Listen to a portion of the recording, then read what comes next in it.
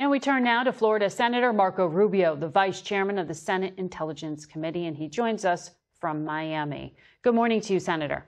Our poll shows two thirds of Trump supporters believe those false and disparaging claims about Haitian migrants are true. Uh, the governor of Ohio has said he is a big supporter of the ticket, but he's sad about this because there's no evidence of these claims. He's disparaging migrants who are legal, and the verbal attacks dilute and cloud what should be a winning argument for Republicans about the border. Do you agree that Well, this kind of thing is a distraction from the broader point Well, and dangerous? Well, it shouldn't be a distraction because, at a minimum, it shouldn't keep us from, for example, saying, okay, well, maybe I don't believe the dogs and the cats thing, but there are literally people moving in by the, by the thousands in the Yes. case of Springfield. Charleroi in Pennsylvania.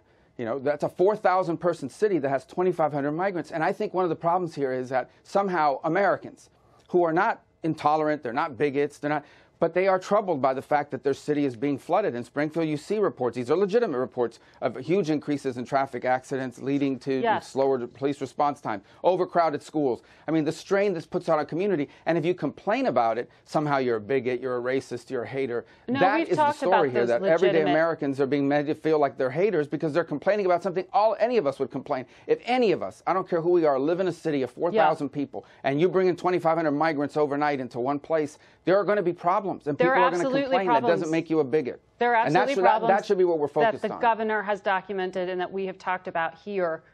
But it wasn't everyday people making those claims. It was the Republican nominee and his vice president making those false claims about Haitian Well, those migrants. are claims. That no, those rhetoric. are claims that people. Those are claims that people in those communities made. Maybe some have now recanted or moved aside from it. But that should not take us away from the fundamental truth, and that is there is ha- there are real impacts happening when you move people into communities, as has been done by design by the Biden administration Yes, but, and but allowing you know, people you're, you're the in and so leadership. you know words matter.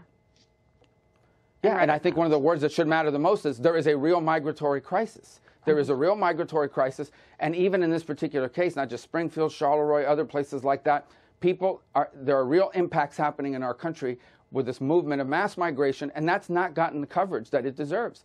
And you say you've covered it, other coverage, but it hasn't gotten the coverage. The cats and dogs thing has gotten way more coverage than the Right. real world impacts that this is having. And I think that's what needs to change in the way this issue is covered. Mm-hmm.